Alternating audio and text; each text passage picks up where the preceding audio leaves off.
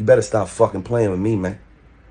You hear me? And mind your fucking business, man. Because you went on a nigga Instagram page commenting about me, calling me out my name, my nigga, for no motherfucking reason at all. This how this shit started. So I'm gonna tell you again, man, leave me the fuck alone, man. I see your little funky ass video. I spend more money on my cow's hooves than you spend on your wife. You're probably right, nigga. Cause I ain't bought her a quarter, nigga. She fuck with me because who I'm blessed to be, not because I bless her with a fee.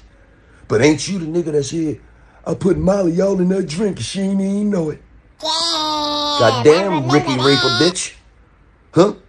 Stop talking about money, man. Cause money don't unlame a lame, nigga. There's a lot of suck ass niggas out here with money and you on the list. Matter of fact, you the captain of the Suckers with Money Association of America, nigga, and we ain't impressed. So mind your business.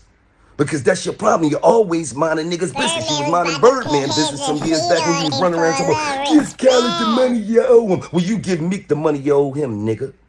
Because you got him in a 1914 slave deal.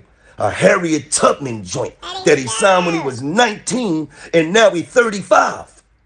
I thought you said a boss is one that guarantee we gon' eat. Well, why you ain't renegotiating with a real nigga? Thank God he fucking with them white boys. He fuck around, be broke, busted, and disgusting fucking with you. He's a hell of a businessman, though. Salute to you. But stop talking about money, man. And stop pushing that Belaire on niggas, because they don't drink that shit no more. I got the ice electric blue bottle, and I got the lime green bottle that float in the air like Aladdin's carpet. We don't give a fuck. We don't want it, man. Niggas don't drink that shit, man.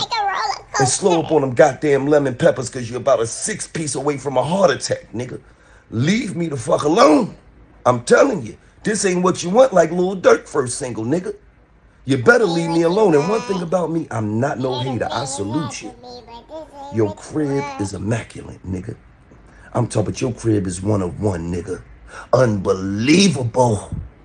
But the whole Atlanta know you live dead smack in the hood, nigga. Right off Old National. Two blocks away from the blackest Walmart in the state. You ain't had a good night's sleep since you moved in that motherfucker. You know how them niggas in Atlanta breaking houses. You worrying about them niggas jumping your wall every night, nigga. And I get that raggedy ass cow to Labor Day before them niggas hop the wall and steal that motherfucker. Be riding all down Old National. Beef ribs for the hood. Fuck is wrong with you, man? Leave me the fuck alone, man. I'm not the nigga that you want to play with, Ross. You hear me? Yeah, yeah. CEO slash drug dealer kingpin. Remember, we was on the same record label together, Teflon. Remember that?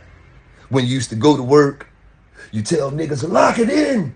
Then you come home, you change your uniform, you put your hat on backwards, and then you go in the studio and be a, a drug dealer kingpin rapper? Huh? Leave me the fuck alone, man. This ain't what you want.